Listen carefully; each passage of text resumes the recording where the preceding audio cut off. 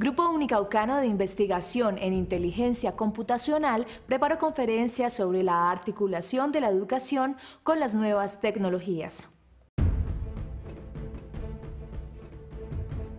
El profesor de la Universidad Estatal de California, Otto Benavides, compartió ponencias sobre la relación de las plataformas tecnológicas digitales con los modelos educativos. Eh, lo que quiero hablar es un poco de la forma en que la tecnología se utiliza y la forma en que nosotros, los eh, profesores, la educación en general, eh, las expectativas que tenemos de los estudiantes y las expectativas que los estudiantes tienen de lo que van a hacer con, con la educación y la tecnología.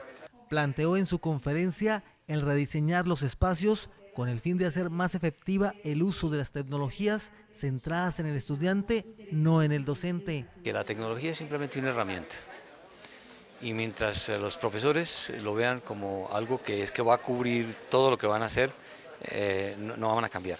Manifestó que la tecnología en el aula debe ser como un lápiz, a mí nadie me enseñó cómo manejar el lápiz. Bueno, sí, me, decían cómo, cómo tenerlo en la mano para escribir, pero nadie me estaba indicando de qué se componía eh, ni cómo debía utilizarlo.